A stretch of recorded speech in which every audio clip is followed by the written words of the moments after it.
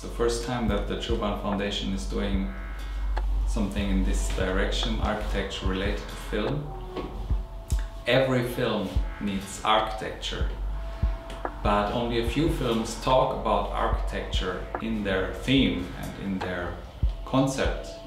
And so do these three films present an approach of the director Oshii Mamoru, one of the great Japanese directors of animated films.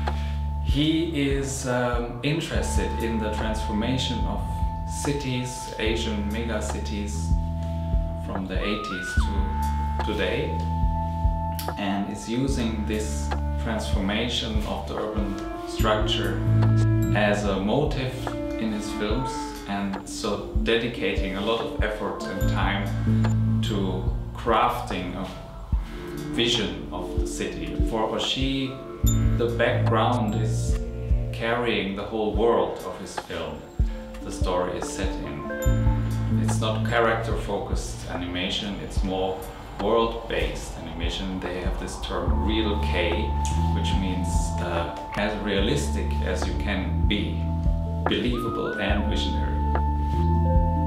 What we have in this exhibition here, anime architecture, are image boards, layout designs and background illustrations.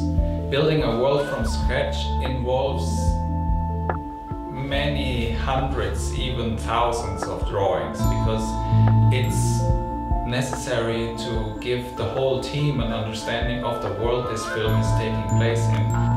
You know, there's architecture in the film.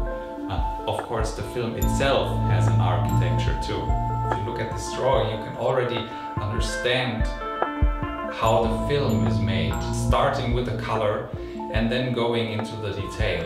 And that's basically, for me, that's a nice metaphor for the whole production because you start with a mood, with something you want to express, and then you go into the detail and there, there's a story unfolding. You, you build a window and in this window there might be somebody doing something, but it all starts with the blue vision of the future.